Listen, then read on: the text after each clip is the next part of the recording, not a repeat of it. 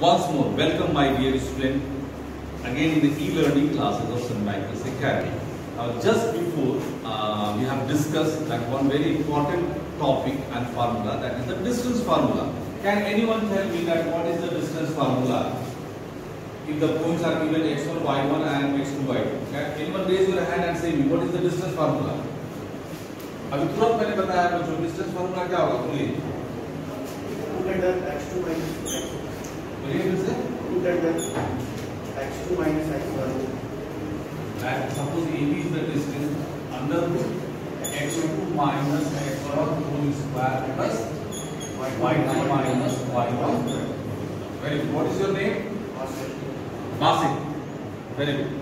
अब देखिए here you have to find the distance between minus 5, 7 and minus 1, 3. These are the two sets of coordinates which are on a Cartesian plane. So we assume that A is equal to minus 5, 7 and B is equal to minus 1 and 3. So AB is equal to we write the formula, we write in uh, ascending order. Two or one, one or two बदल लेते हैं ठीक है That is equal to x1 minus x2 whole square plus y1 minus y2 whole square. अब देखिए this is the x1, y1, x2 and y2. x1 minus x2 कितना हो जाएगा? minus 5 minus minus 1 whole square. Okay? Plus y1 7 minus 3 whole square of square. That is equal to minus 7 minus minus plus 1 whole square and 7 minus 3 whole square. Minus 5 plus 1 minus 4. Minus 4 square is equal to 16 and this also is equal to 16. That is equal to 2 under या 2 into 16 ऐसे लिख सकते हैं ना but into 2 into 16 लिख सकते हैं that is equal to 4 root the distance between AB is 4 root चलिए एक और क्वेश्चन आप लेते हैं question number 4 check whether 5 minus 2 5 minus 2 0 4 and 7 minus 2 are the vertices of an isosceles triangle. केवल देखना कुछ मैं क्वेश्चन गलत नहीं लिख रहा हूँ प्लस माइनस इसके लिए हमको क्या करना है we have to prove that this set of points which are plotted on a graph on a uh, Cartesian plane represent an isosceles triangle. सुविधा के लिए हम क्या करेंगे पहले एक isosceles triangle ड्रॉ करेंगे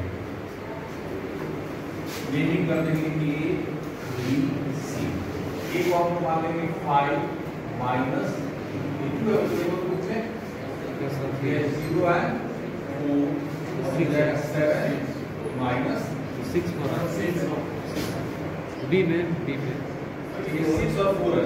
सिक्स और फोर इसमें एक ही ट्रिक है बच्चों। इस तरह क्वेश्चन में एक ही ट्रिक होता है, ध्यान रखना। या तो आप क्लॉकवाइज मूव करोगे या एंटी क्लॉकवाइज मूव करोगे। तो सपोज़ एम मूविंग इस डायरेक्शन में जा रहा है। पहले मुझे से वैल्यू निकालना पड़ेगा। ए बी ए बी का वैल्यू क्या हो जाएगा हमारा? May I need to write the formula of the triangle or directly I put the value? This one is first set, this one is second set.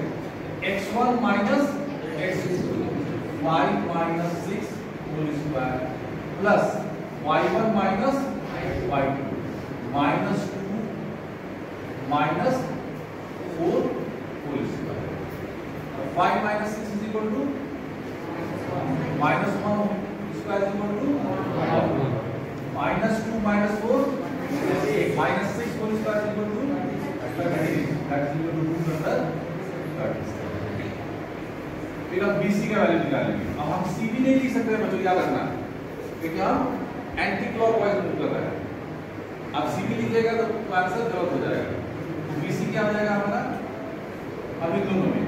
ये 1 हो गया, ये 1 वाला सेट होगा और ये 2 वाला सेट होगा x1 minus x1 6 minus 7 whole square ये हो जाएगा Y one minus Y four minus minus two क्या हो जाएगा four plus two whole square that is equal to 6 minus 1 minus 4 whole square is equal to 1 1 uh, plus 4 plus 2 6 6 whole square is equal to 37 so we have already find that the value of two sides is 237 unit which means an isosceles triangle no need to find the third value तो हम वहाँ जाने की ज़रूरत नहीं है अगर हम I move from CA तो हमको तीनों वैल्यू निकालना पड़ता है या the what we have got here the value of the length of two sides are put under 37 unit what does it prove that this given triangle is an isosceles triangle we are since AB is equal to BC is equal to root under 37 so triangle ABC is an isosceles triangle. अब चलो एक question और देखते हैं question number seven हम देखते हैं Find the point on the x-axis which is equidistant from 2 minus 5. A is equal to 2 minus 5 and B is equal to and B is equal to 11 minus 2 and 9. These two points are equidistant. Equidistant means at equal distance. With a point on the with a point on the x axis. where x axis then what is the condition when the points set of coordinates lies on the x axis x axis पर कोई coordinate lies करता है तो condition क्या होता है ज़ोर से बोलिए y is equal to 0 so let this point is equal to x and 0 why why because this set of coordinate falls on x axis and we have already studied that if a coordinate falls on x axis its y coordinate is 0 अब इसको join कर दो ऐसे according to question क्या लिखेंगे यहाँ लिखिएगा let point on point on x axis is equal to c that is equal to x and 0. According to question, AC square is equal to AC square is equal to BC square. Yeah, ना? Condition क्या दिया है? If these two points A 2 at minus 5 and B minus 2 9 are at equidistance from a point on the x axis उस x axis को हमने क्या assume किया c उसका कोऑर्डिनेट क्या होगा बच्चों x and 0 according to the condition of question ac is equal to bc which means ac square is equal to bc square so in the formula go to this square root sign अब हम क्या लिखेंगे x1 minus x2 minus x whole square square plus minus five minus zero whole square is equal to minus two minus two minus X whole square plus nine minus zero whole square.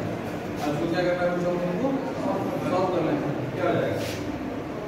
A square plus b square minus 2ab हो जाएगा हमारा 25 minus 5 करके जो 25 अब याद minus हम यहाँ common लेंगे इसको हम ऐसे लिख सकते हैं minus two plus X whole square इसे लिख सकते हैं ना? और ये माइनस का स्क्वायर क्या हो जाएगा प्लस हो जाएगा यानी two plus X whole square क्या हो जाएगा a square plus b square plus इसको भी अंडरस्टूड ये दो दो स्टेप हमने रिमूव कर दिया यहाँ से। अब यहाँ क्या हो जाएगा नाइन नाइन या eighteen X square X square cancel four and four अब ये माइनस फोर एक्स उधर जाएगा क्या हो जाएगा plus four X means eight X अब एटी वन इधर आएगा। माइनस होगा?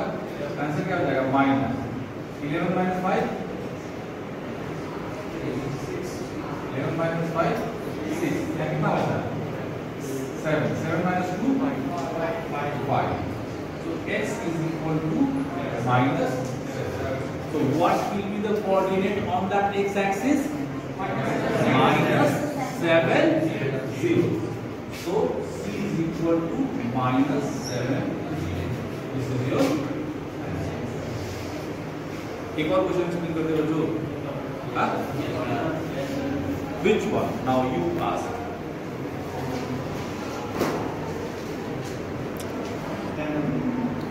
Question number ten question number ten चलिए वासित ने पूछा है क्वेश्चन नंबर टेन में एक्सप्लेन कर देता हूँ।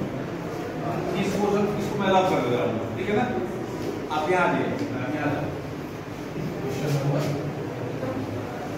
relation between x and y is such that the point xy is equidistant from the point 3 6 and minus 3 4 same question हो गया वासित ये क्वेश्चन अभी जो मैंने एक्सप्लेन किया बेटा वही हो गया a is equal to 3 and 6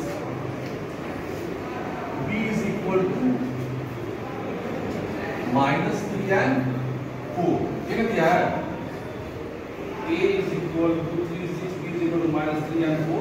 find the relation between x y such that point x y इसको c मान लो is equidistant from a and b कोई हो गया क्या लिखेंगे according to question ac square is equal to bc square अब क्या हो जाएगा 3 minus x whole square is equal to 6 minus 5 whole square is equal to minus 3 minus x whole square plus 4 minus y whole square चार तरफ़ आपका cut जाएगा देखिए a square plus b square minus two A B हो अभी हो जाएगा a square plus b square minus two six है ट्वेल्व इज़ इक्वल टू यहाँ से आएँगे क्या हो जाएगा पास three plus X whole square हो जाएगा ना? हो जाएगा A square plus B square plus A B